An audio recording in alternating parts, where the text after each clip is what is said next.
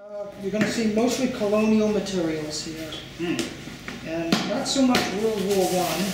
There are, he also has a lot of fascist propaganda in mind, so we'll take a look. So, this guy specializes in trade cards. These were sort of like the equivalent of cards you would get with bubble gum, only oftentimes for cigarettes or chocolates and the like.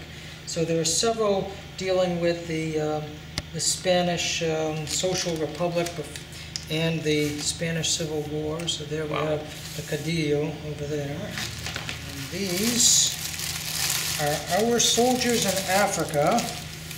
And um, Our Okay. being.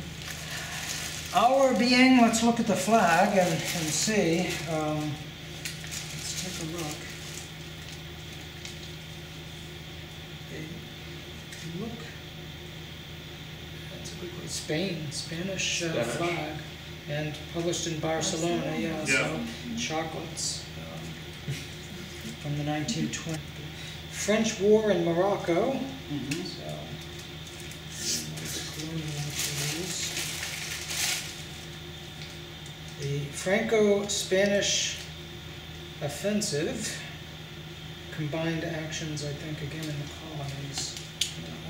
And then this is the War of the Rif, so this is uh, North Africa. Uh, This is a complete set of 24 cards by Spanish Chocolate Amatller. And this is, this is, I think, one of the Horrors of War series, possibly. There's- They're in good Yeah. condition though.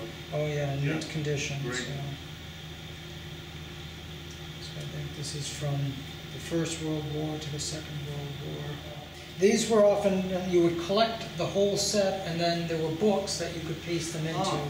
That was kind of see the uh, format for most of these. So yeah, here you have chemists making poison gas. Yeah, the horrors of World War One. Bit of uplift with your afternoon chocolate. So it's peacetime versus war. So your choice. Would you rather have horse races or cavalry charges? Men scaling mountains or men trying to cross no man's land? Interesting. Well, these are early in World War One, I'm guessing. That time, yeah, that's, those are biplanes and all.